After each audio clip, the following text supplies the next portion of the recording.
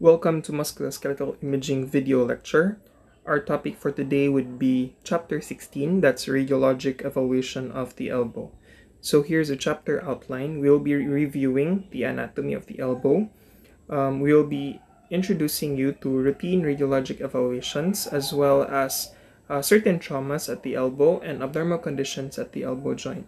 So just a brief introduction, as we all know, the elbow is the anatomic junction between the arm and the forearm, whereas the shoulder functions to place the upper extremity anywhere within the wide range or wide sphere of its range of motion. The elbow functions to adjust extremity's height and length and the functional position of the hand to accomplish prehensile tasks efficiently. The elbow's three separate synovial articulations housed within one joint capsule present unique challenges to clinicians involved in treating trauma and dysfunction of this joint. So for the review of anatomy, we go first with osseous anatomy of the elbow joint. So the bones of the elbow are the distal humerus, the proximal ulna, and the proximal radius. The articulation between the humerus and the ulna is known as the humero-ulnar joint. The articulation between the humerus and the radius is known as the humeroradial joint and the articulation between the proximal portions of the ulna and the radius is known as the radio or the proximal radio-ulnar joint. And these three separate articulations are within a common joint capsule together make up the elbow joint. The humeral shaft expands at its distal end into the medial here and the lateral condyle or the epicondyles and the articular portions of these condyles are the trochlea and the capitulum. The spool-shaped trochlea is divided by a se semicircular groove or the trochlear sulcus found here, and the trochlea is on the medial aspect of the distal humerus and articulates with the ulna. The rounded capitulum, on the other hand, is on the lateral aspect and articulates with the radius, and the medial and lateral epicondyles are projections located proximally to the trochlea and the capitulum respectively. The distal humerus is marked by three depressions or fossae. Anteriorly, this is the anterior part. Anteriorly is the coronoid fossa, and the radial fossa receives the ulnar coronoid process and the radial head at full elbow flexion. So here and here. While posteriorly, the olecranon fossa, here located in this part, receives the ulnar olecranon process at elbow extension. The proximal ulna has two beak-like processes, the large olecranon process at its tip and the coronoid process on its anterior surface. Between these two processes lies the articular concave trochlear notch, which receives the trochlea. The shallow radial notch on the lateral side of the ulna articulates with a radial head. Proximal radius is distinguished by a head, a neck, and a tuberosity. The radial head is a disc-like and cupped on its upper end, articulating with the capitulum above the ulna medially. The neck is the constricted area below the head, and the tuberosity is an oval prominence distal to the neck. Right, so looking at this diagram, it's the ligamentous anatomy. So approximately half of the elbow stability is provided by the bony configuration of the joint and the remainder of its stability results primarily from the joint capsule and its medial and lateral ligamentous reinforcements found in this figure. So we start with the ulnar collateral ligament or the medial collateral ligament. It attaches to the medial humeral epicondyle and extends in a broad triangular expansion to the olecranon. And the radial collateral ligament, or also known as lateral collateral ligament, attaches to the lateral humeral epicondyle and extends to the annular ligament and radial notch of the ulna. The annular ligament of the radius is an oval band enclosing the head of the radius and attaching to the anterior and posterior margins of the radial notch of the ulna. The radial head is able to rotate within the ligamentous sling, which provides its articular stability to the ulna. The main muscles acting on the elbow joint are the tri triceps, biceps, and brachialis, and they also are potential important factors in joint stability. With regards to joint mobility, the humero-ulnar and humero-radial joints of the elbow function as a hinge joints. permitting extension and flexion through a range from 0 to 135 degrees or greater, and the proximal radioulnar joint is a trochoid joint, allowing approximately 90 degrees each of the forearm pronation and supination. Of growth and development, ossification of the elbow begins in the shaft of the humerus, ulna, and radius in the eighth week of fetal life. That's eight. At birth, only these structures are ossified and visible on radiograph, and the elbow joint is entirely cartilaginous at birth. The remaining architecture of the elbow is formed by seven secondary ossification centers. Four secondary ossification centers belong to the humerus, and the uh, three secondary ossification centers belong to the forearm. Now, you may ask, Doc, what is the purpose of knowing this? So this is very important in pediatric patients grow or growing children where physiologic structures meaning normal are still growing. So if you don't know the age of the patient, you might mistake them as pathologic structures or tumors such as this and in a 5-year-old. So that should be normal. All right. So we're done with anatomy and let's continue with routine radiologic evaluations. So uh, there's what we call as practice guidelines for radiography of the elbow in children and adults. And these practice guidelines assist practitioners in providing appropriate radiologic care for patients. And these practice guidelines exist as an educational tool to direct a reasonable course of action. The goal of radiographic examination at the elbow is to identify or exclude any anatomic abnormalities or disease processes. These are the indications for the radiographic examination. So I think all of these are actually um, common sense. So if you see that there's something wrong with the elbow, then you do a radiolo radiologic examination. So we move on to the basic projections, uh, radiologic observations, and MRI anatomy. So the minimum recommended projection for the elbow are the anterior posterior view and the lateral views alone. Sometimes oblique views of the elbow are sometimes included in a, faci a faci facilities protocol. Oblique views of the elbow are sometimes included in a facilities protocol or are requested depending on the clinical indications. Um, ACR, or the American College of Radiology, recommends magnetic resonance imaging or MRI evaluation for chronic elbow pain if radiographs are non diagnostic or if you don't arrive in any type of diagnosis, non-diagnostic.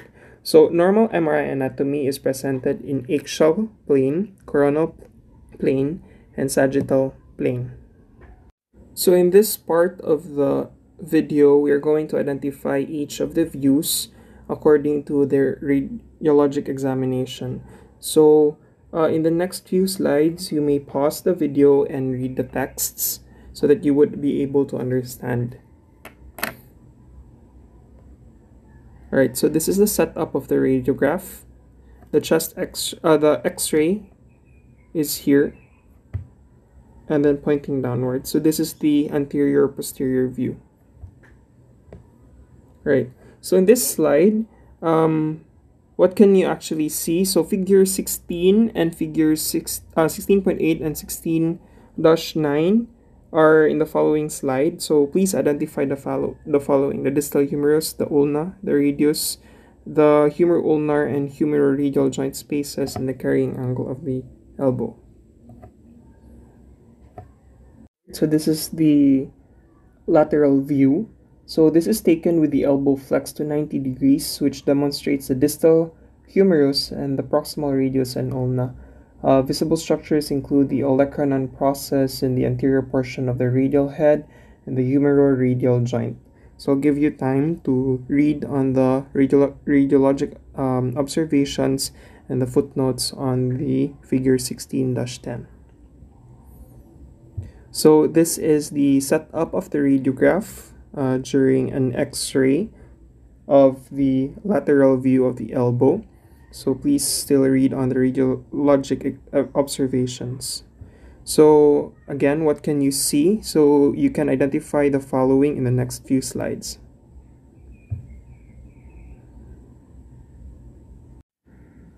So in this slide, we will be continuing on the radiologic examination of the elbow. All right, so uh, this is the oblique view and remember that oblique views of the elbow may be obtained with the patient's arm in internal or external rotation and the choice is determined by the specific area of interest. The elbow is in full extension for the either projection. So what I meant by specific area of interest is that it depends on whether you palpated a tumor on that side and then you can do and then uh, it can be visibly seen more on the intern uh, on internal rotation than external rotation or any other pain on that side so you can actually do that. All right so i'll take you uh, give you time to uh, read on this one. And then also in the next slide you can uh, once again identify the structures. Okay? All right. So for this view, this is actually the external rotation. All right. Still on the elbow and it's in the oblique view. So as you can see, there's a, a an external rotation of the elbow right there. All right. So the next is try to identify the structures uh, with the radiograph and the tracing. So in this case, this is the routine radiologic evaluation of the forearm Okay, forearm is different than the elbow. And uh, there are two views in this side. You have the anterior-posterior view and the lateral view. So the anterior-posterior view, uh, this view demonstrates the elbow, the entire radius, and the ulna, and also the wrist. So um, try to read on the radiologic observations. Um, all right, and identify the radiograph or the parts on the radiograph uh, with the tracing. Right. So in the next slide, this is actually the lateral view of the forearm and the lateral view demonstrates the elbow, the entire length of the radius and ulna, and the wrist and seen in this uh, picture. All right, so once again, read the radiologic observations and then also identify the parts of the radiograph in the, tra- uh, and the tracing. Advanced imaging evaluations using CT scans, MRI, and diagnostic ultrasounds. So, chronic elbow pain may be caused by a variety of osseous or soft tissue abnormalities. Uh, radiographs will continue to be the first imaging test performed for most suspected bone and soft tissue abnormalities of the elbow and will often suffice to either number one, diagnose problems, uh, or initiate treatments or exclude an abnormality and direct further imaging. For example, radiographs may reveal intraarticular loose bodies, osteophytes, heter- heterotrophic ossifications, or calcium deposits in and around the joints. If the etiology of chronic pain is uncertain or the patient does not improve with conservative care, advanced imaging may be considered.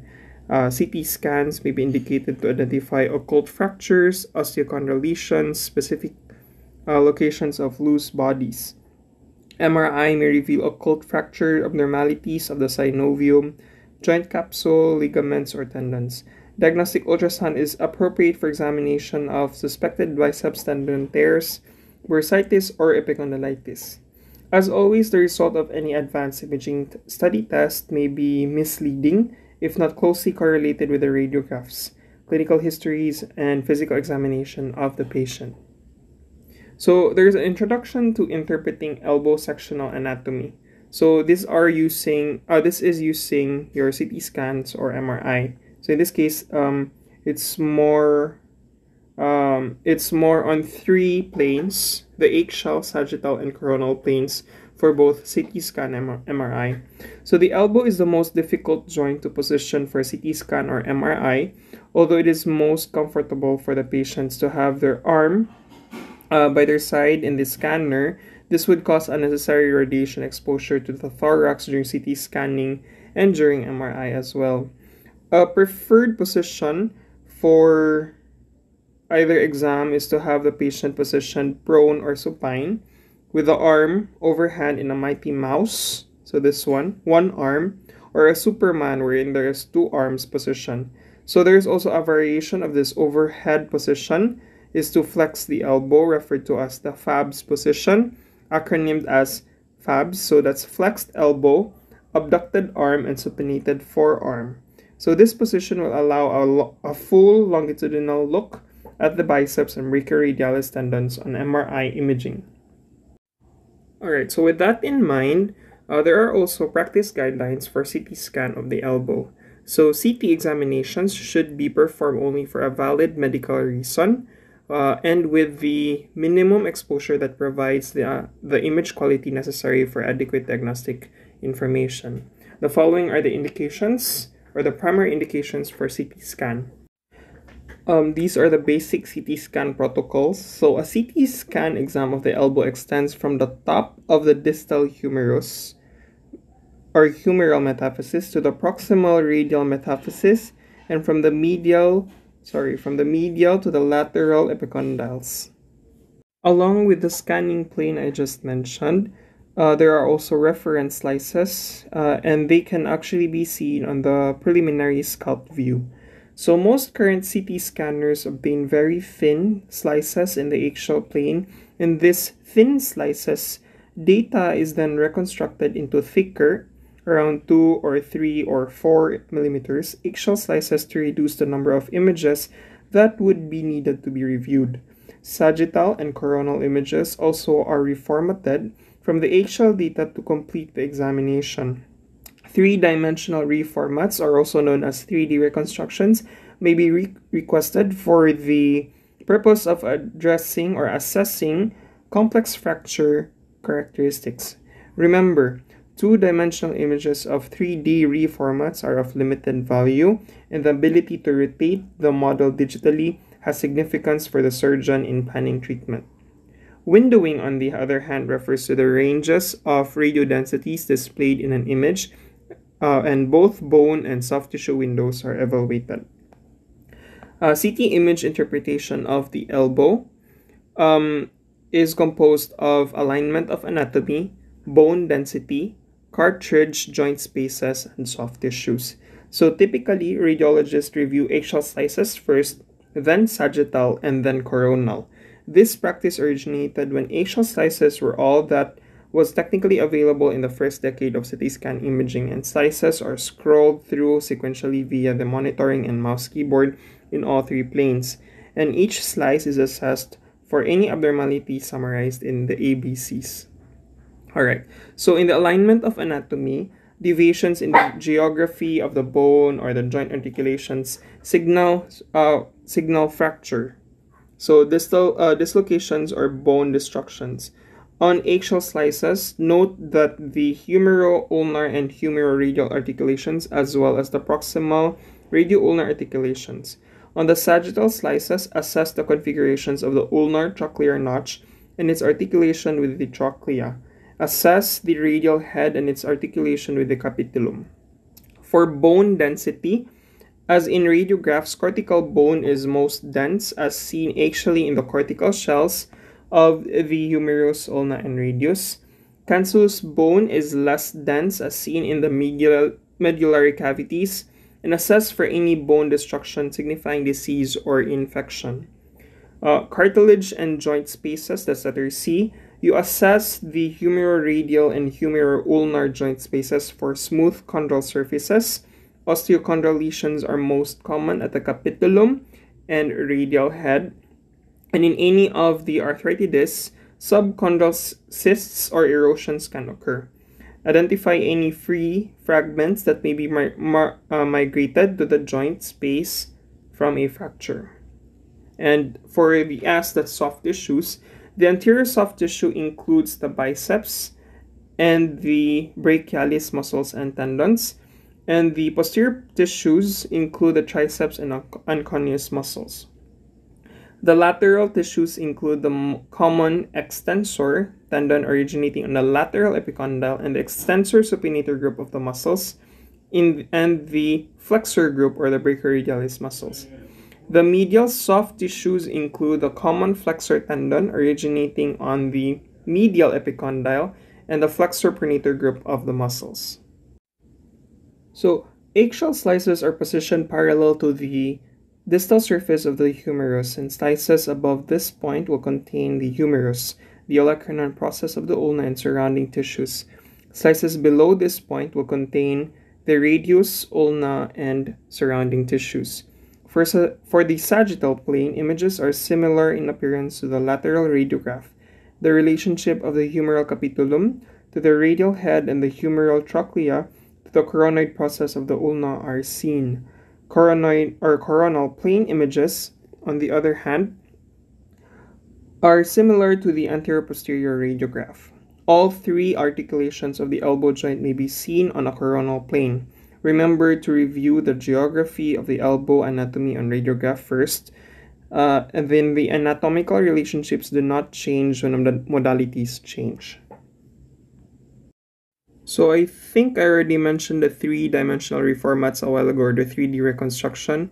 So I'll just leave this on to you. CT scan, now we're going to MRI. So now we will be discussing more on the practice guidelines for magnetic resonance imaging of the elbow. And the following are actually indications for MRI of the elbow. And I'll just uh, leave you to read this one. Okay. So additionally, MRI of the shoulder may be indicated to further clarify and stage conditions diagnosed clinically and or suggest by other imaging modalities including the following. This one here. And finally mri of the shoulder may be useful to evaluate specific clinical scenarios including the following here. All right. So i'll leave that up to you. Let's go to the next slide so there are certain contraindications the possible contraindications may include cardiac pacemakers because during MRI, if there are pacemakers, they are usually made by of metals and um, you know metals would actually attract in MRI. Ferromagnetic intracranial aneurysm clips, uh, certain neurostimulators, certain cochlear implants still with metals, and certain other ferromagnetic foreign bodies, electronic devices, extensive tattoos, or non-removable body piercings. All right, so for the uh, these are actually basic MRI protocols wherein um, MRI evaluation for the elbow requires protocols and coil selections that can accommodate both large structures such as the triceps and the bicep tendons and uh, very small structures such as the collateral ligaments. So all protocols will be a combination of anatomy, defining sequences, and fluid sensitive sequences. So there are two. So divided among these three imaging planes. So the coronal, the sagittal, and the axial. So remember that the fundamental tenets of musculoskeletal MRI for any point are two folds. Number one is define the anatomy, and the next one is uh, are there or you detect any abnormal fluids. So in the arrangement below here, the sequence protocol for the shoulder, uh, the anatomy sequence is paired with the fluid sensitive sequence, and the images are presented this way on the following pages or slides. So a method of reading the image is to match these paired sequences or slice, uh, slice by slice, identifying the anatomy, then looking for abnormality or abnormal high or bright signals. All right.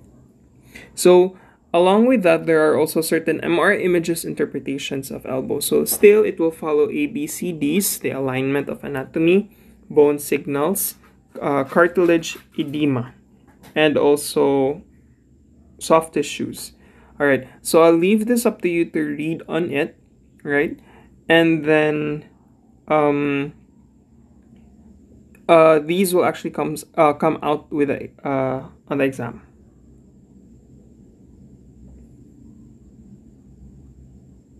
All right. So for this one, you can actually see figures 16-32 uh, to 16-38 in your book, or you can also just um, see it here in the slides or in the video. So uh, remember that uh, you have three planes. So these are the observations that you, mu you must uh, check. All right. So um, this is the axial view of the elbow. Alright, and uh, these are the axial planes and these are the structures that can be seen best. Okay, so I'll leave that up to you to read and memorize. So uh, as what I've mentioned, you have the fat saturation, seen in axial T2 weighted images to detect for uh, abnormal fluid. All right, so this is the sagittal plane.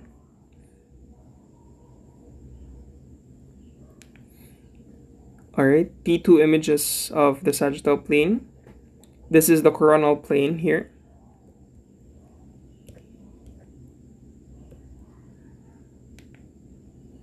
And um, we have the MR arthrogram. So the MR arthrogram is a combination of MR and arthrography, and all three imaging planes are evaluated. Distension of joint capsules via injection of dilute gadolinium allows identification of all intra-articular tissues. Alright. So this is an example of a fluoroscopic guidance for contrast injection. So you see here in letter A in axial imaging, there is the uh, injection. This is the injection and then this is the needle here. Alright, in letter B, this is the axial view. C is the sagittal view and D is the coronal view. The next following slides are examples and um, it would be better if you familiarize these structures.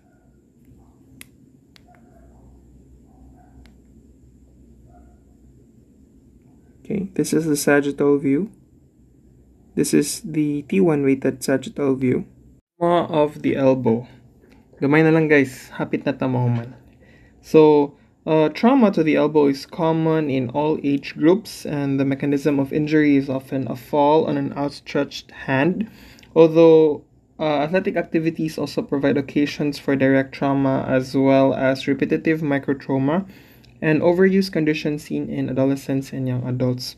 Do note that children usually fare better than adults because of their greater remodeling capacity, and the surgical and post surgical rehabilitation needs are often challenging to the orthopedist and the therapist, both of whom strive to restore the functional abilities of the joint.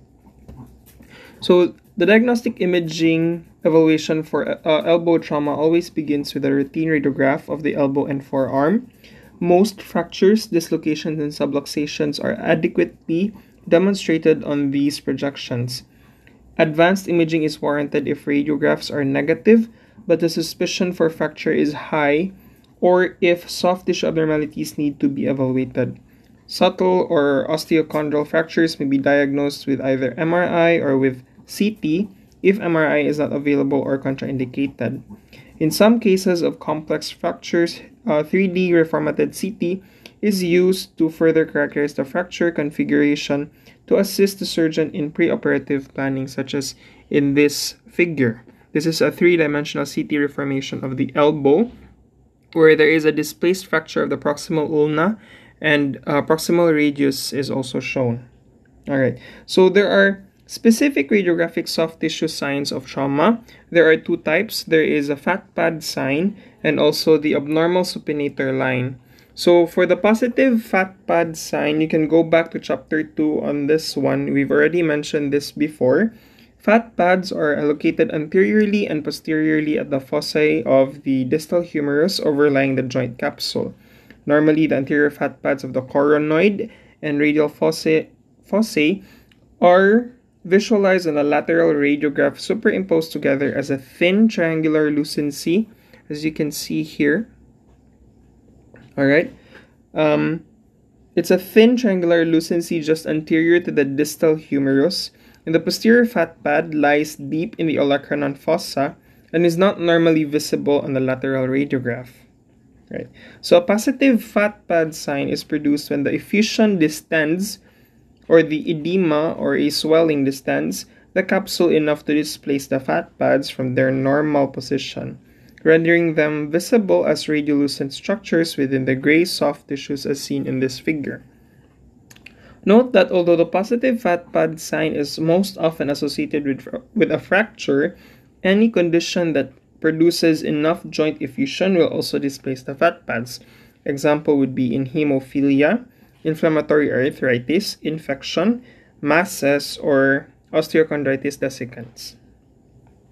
For the abnormal supinator line, which is another radiographic soft tissue sign of trauma, is that the fat plane overlying the supinator muscle, sometimes referred to as the supinator line, is normally seen on the lateral radiograph as a thin, lucent line parallel to the anterior aspect of the proximal third of the radius approximately at least 1 centimeter from the anterior margin of the radius. In virtually all cases of acute radial head fracture, this line may become elevated, okay, here as seen in this image, widened or blurred. Conditions other than trauma causing this abnormal soft tissue sign uh, includes infection and inflammatory diseases. So next in line is the fractures and dislocations. So we'll be talking about the mechanisms of injury. Um, most fractures and dislocations at the elbow joint from uh, results from a fall on an outstretched hand with or without an abduction or adduction compo component, or a force applied through a flexed elbow. So fractures of the radial and ulnar shafts are more often caused by direct trauma, often associated with violent blows, motor vehicular accidents, or fall from heights. So an example, this is actually a fracture of the distal humerus. I will we'll start with this one. So um, they are actually classified into six types. You have the supracondylar, the transcondylar, intercondylar, condylar, articular, and epicondylar. We'll go to the next page. So in letter A, that's a normal humerus. Letter B is a supracondylar fracture. So supracondylar fractures are the second most common of all extremity fractures in children, following fractures of the forearm. So supracondylar fractures are divided into extension and flexion types. The infrequently seen flexion type uh, injury displaces the distal fragment anterior to the humeral shaft. And the frequently seen extension type injury displaces the distal fragment posterior to the humeral shaft and is more likely to be associated with neurovascular damage in the antecubital region. So, um, what I've just mentioned is seen in this figure. Extension type supracondylar fracture of the distal humerus, wherein the distal humeral fragment is pos uh, seen posteriorly to the shaft. So complications include malunion, with uh, resultant cubitus varus or gunstock deformity, peripheral nerve injury, and Volkmann's ischemia, a form of compartment syndrome due to occlusion of the brachial artery. So this is uh, in figure 16.46, this is known as Volkmann's ischemia. Okay. All right. So um, we go to the next one. Uh, letter C is a transcondylar fracture. So uh, these occur more often in falls of elderly persons who are compromised by osteoporosis. So there's another picture here at uh, 16.47. This is a transcondylar fracture of the distal humerus. As you can see, this is the fracture site. All right. So um, up next, letter D is a, an intercondylar fracture right? So intercondylar fractures are most common uh, distal humeral fracture in adults and results from a direct force that causes the wedge-like olecranon to be driven into the distal humeral articular surface, uh, splitting the condyles. Uh, letter E is a condylar fracture. These are actually uncommon in adults but are seen with some frequency in children. So the oblique fracture line extends through both non-articular and articular portions of the condyle and then fractures of the lateral condyle are most common, generally thought to occur as a result of varus force avulsing the condyle. Um, in letter F, we have an articular fracture, includes fractures of the capitulum and trochlea and are rare in all age groups. When present, the fracture line is usually in the coronal plane, parallel to the anterior surface of the humerus. Because the fracture fragments are largely cartilaginous, radiographs may not always reveal their true size. And lastly, we have epicondylar fractures. They are uncommon in adults and when present are usually the result of a direct blow with a prominent medial epicondyle more likely to be involved. In children and in adolescents, the medial epicondyle is more commonly injured from the avulsed or the avulsion forces sustained through the physeal growth plates or in association with uh, elbow dislocations. So For the radiologic evaluations and the treatments, I'll leave this to you to read on it further. Alright, so these are the complications. Alright, so let's proceed to fractures of the radial head.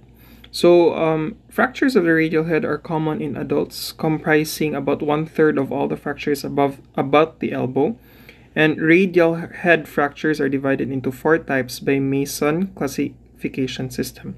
So there are four classifications, and um, you can just read on this one and then look at the figure at 16.42.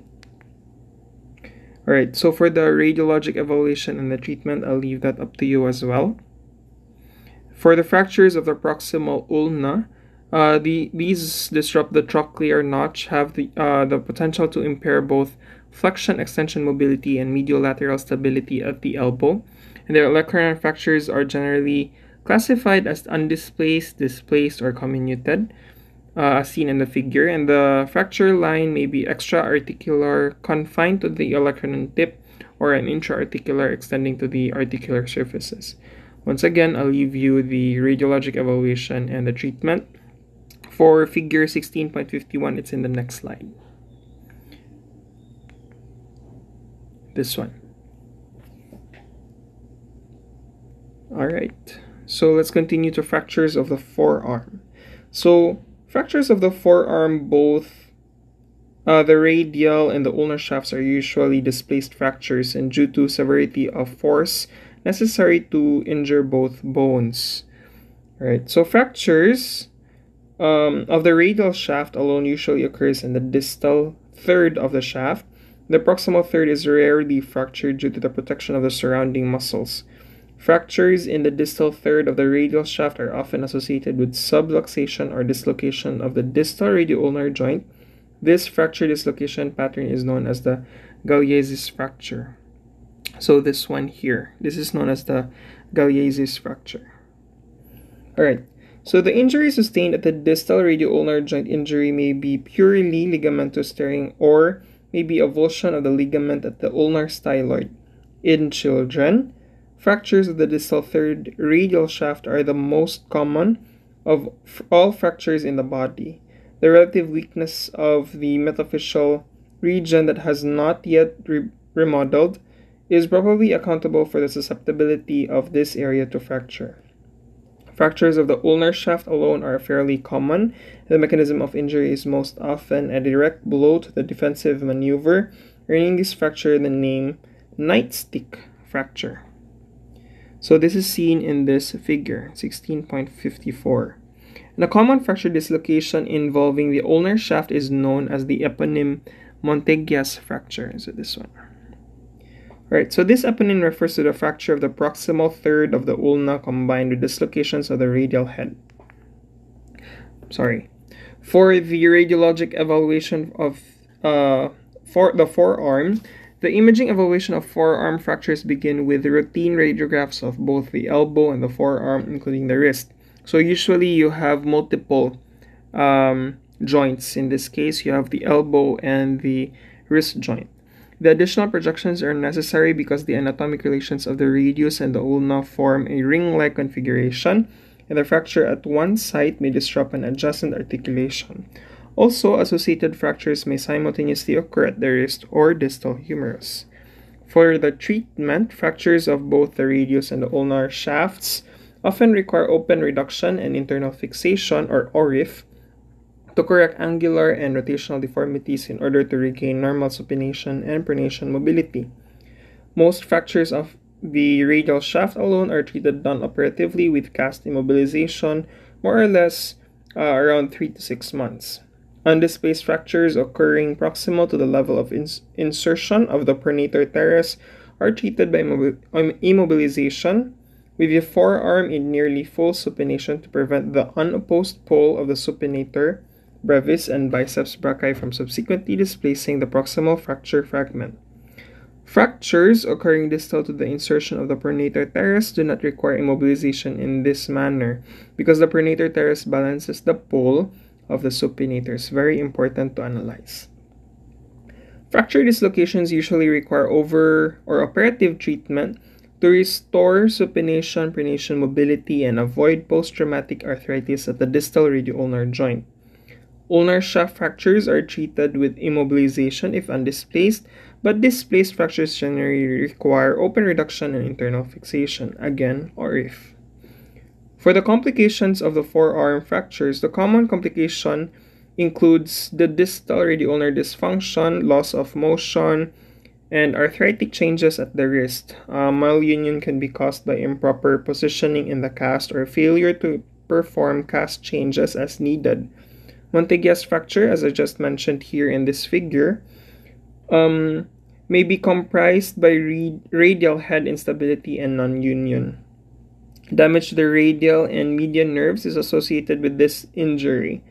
In children, the incidence of radial shaft refracture is as high as 12%, and a refracture may occur up to one year after injury.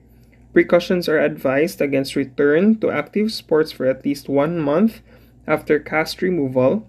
Overgrowth is not uncommon for the 6 to 8 month period after injury, and the average amount is 6 to 7 millimeters and is considered functionally insignificant. Alright, so let's continue with dislocations of the elbow. So, uh, elbow dislocations are most often due to fall and an outstretched hand uh, that levers the olecranon away from the trochlea. Dislocations of the elbow joint are described by directions uh, that the radius and the ulna have displaced in relation to the distal humerus, so which is here found in figure 16-56.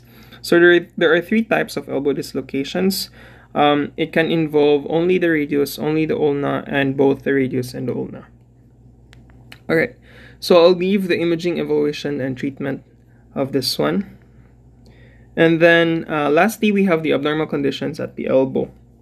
So we have only two types here. We have epicondylitis and the other one is osteochondritis dissecans. So I'll be explaining both. Um, epicondylitis uh, has two types because you have two epicondyles, one on the medial and one on the lateral side. So these are actually their eponyms as you can see so familiarize them and I think you already know them so epicondylitis is defined as overuse injuries characterized in the acute stage of tendinitis more or less it's painful there's swelling and sometimes there is decreased range of motion tendinosis which is a term for chronic cases develop due to repetitive stress which prevents the tendon from healing normally I'll leave the imaging evaluations and treatment to you. Alright, so this is the last one, which is known as the osteochondritis dissecans. So, uh, this is a localized uh, joint injury that involves a separation of the segment of the cartilage and subchondral bone from the articular surface. This is this is an example here and here. All right. So over 75% of the cases occur at the knee, but the elbow, ankle, and wrist are also susceptible. In the elbow joint, the most common site of OCD or osteochondritis dissecans is in the anterolateral aspect of the capitulum. It is theorized that repeated valgus stress, a tenuous blood supply within the capitulum, and disparity in the mechanical properties of the radial head and lateral capitulum factor into the lo localization of OCD at the capitulum. OCD typically presents in the young adolescent athlete with open growth plates. So repetitive microtrauma activities such as throwing create valgus compressive forces in the radiocapitular joint. A similar mechanism is noted in the upper extremity weight-bearing skills of gymnasts, and the pain is usually dull, poorly localized, aggravated with use, and improved with rest. So you can actually add up also icing if it's within 24 hours. Alright, so I'll once again leave the imaging evaluation and also the treatment to you for you to read. Alright, so we're actually done with our uh, chapter 16, that's radiologic evaluation of the elbow. Just a brief summary of the key points. You have to know the routine radiologic evaluations, the advanced imagings, the trauma radi radiology, uh, fractures at the elbow, dislocations at the elbow, epicondylitis, and the osteochondritis dissecans at the capitulum. So for the exam, this will be a 30 to 40 item questions. Alright, and then uh, there they will most likely be definitions of what I just mentioned in this chapter. Um, there would be expect pictures, uh, but most probably um, more on identifying what those parts are, especially in the elbow, and also the um, the different types of uh, trauma fracture uh, trauma. All right.